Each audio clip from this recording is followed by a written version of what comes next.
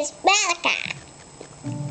I'm doing good. I'm going to bed and kids go to sleep. I'm getting really tired. I go to bed and the kids eat eating.